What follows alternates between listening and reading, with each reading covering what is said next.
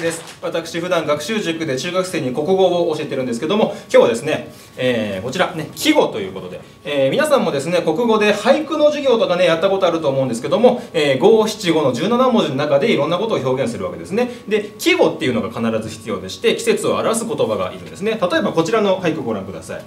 えー、暑い夏汗かきながら食うアイス。ね、えー、このような、えー、俳句があります。例えばこの俳句の中ですと季語っていうと、まあ、アイスとかは季語ですね、えー、ただですねこの、えー、俳句、えー、見てみますと17文字使ってる中でねこれアイスっていう言葉、ね、これが、えー、まず夏を表現していますと。でアイスを食べてるってことは季節が夏であることはまず分かると。そしてあ、えー、暑いわけですから汗をかいてるであろうことも分かると。いうことでもう言ってしまうともうこの部分は必要ないというふうになるんですね、えー、もうこの17文字の文字数の使い方の下手さをもうこれ表現しますともうこう書いてるのとあんまり変わらないような状態なわけですね。このぐらい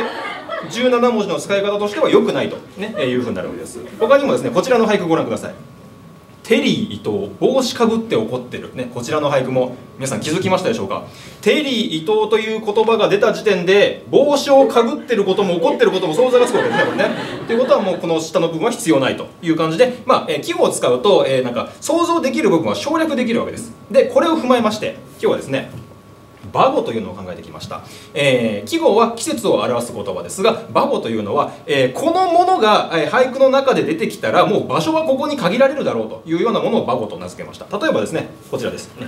黒ウーロン茶ばかりの自販機。これね、えー、黒ウーロン茶ばかりの自販機という言葉が俳句の中に出てきた場合これ場所は1箇所に限られます。これはですね、えー、ラーメン二郎の前です。これ、ね、そこにしかないものですね。もしくは特保のお茶ですね、えー、続いてはこちらにね、えー、イヤホンのゴムの部分。これね、えー、これが出てきた場合も場所はですね、えー、ソファーの下に限られますので、えー、絶対入り込んでますね。ソファーの隙間の場合もあります。続いて大量の鍵を腰につけた男。これね、えー、これね一瞬あの刑務所かなって思ってしまいがちですがこれ正しくはですね、えー、ゲーセンの店員ですのでこれは、えー、腰にジャラジャラいっぱいつけてますので場所も自然とゲーセンになると、えー、続いてですね。首をかしげながら手を開いたり閉じたりする男。ちょっと長いですけどもねこれね、えー、こういう感じの人。ねこれの動きをしてる男がいるのはもう一箇所。ボーリング場ですねこれね、久々にボーリング行った人が調子悪い時にこういう動きをする。えー、他にもですね、えー、ドライマンゴーですねこれね。ドライマンゴーの中でもあのこれねこのあの緑の,、ね、あのパッケージになってるこのドライマンゴー。これがある場所1箇所です。こちらはですね、えー、カルディですこれね。カルディにしか売ってないですこれはね、えー、他にもですね、えー、チチヤスヨーグルトねこれね、えー、これちょっとピンとこない方もいると思いますけどもね。こういうやつですね。このこの男の子が書いてあるヨーグルト。これが、えー、置いてある場所っていうのは、えー、あんまり名前聞いたことないスーパーにしかないですけどね、えー、マイナーなスーパーにしか売ってないものだと思ってください、えー、続いてですね。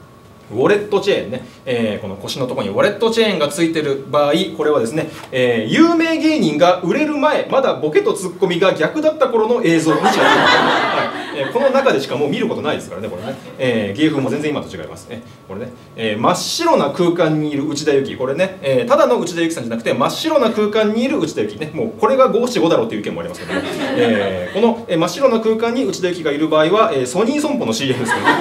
えー、他にないですからね。えー、他にもですね。これね。洗濯洗剤の計量スプーン。ヤクルトの空き容器プリンの空き容器これがもうある場所。1箇所ですね。これはもう公園の砂場ですね。これね。砂場にね半分埋まった形でね置いてありますね、えー、ということで、えー、いろんなバグを紹介してきましたが最後にですね、え、しゃぶしゃぶ食べ放題を表すバグだけ紹介して帰ります、えー、これはですね、え、つみれを入れる竹の筒です、えー、以上です。ありがとうございました。